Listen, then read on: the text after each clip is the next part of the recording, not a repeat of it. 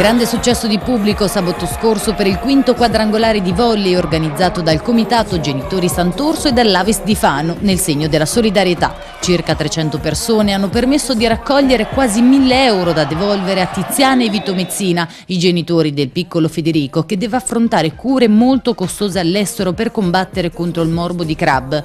L'iniziativa che coincide con la riapertura del Palazzetto dello Sport dopo i lavori di bonifica dell'amianto è stata aperta da un'esibizione delle ginnaste dell'Aurora Fano, poi sono scesi in campo i giornalisti insieme alle concorrenti di Miss Fano, ultimi classificati, i politici che hanno ceduto il titolo conquistato lo scorso anno, ma anche i parroci arrivati secondi e la squadra formata dall'Avis e dalla Proloco che ha vinto il torneo. Non c'era modo migliore per festeggiare questa riapertura, ma poi diciamolo è anche un momento di solidarietà perché dietro alla festa c'è anche un eh, motivo nobile e questo fa onore a chi lo organizza, fa onore alla città che è sempre molto sensibile e quando è chiamata risponde sempre come deve e questo mi rende anche orgoglioso di rappresentare una città come questa. Soddisfatto anche il pubblico che ha gioito e regalato tanti applausi all'imitatore Antonio Mezzancella, finalista del programma TV Tu sì che vales. Seconda porta destra, dopo il camino,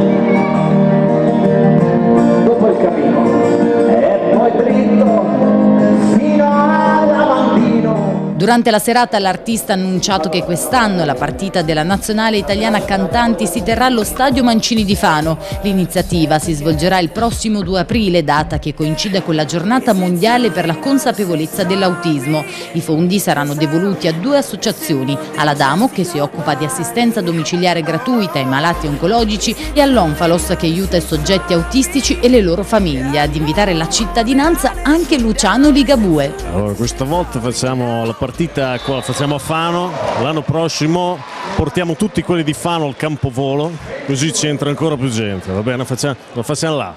Però quest'anno mi raccomando 2 aprile a Fano.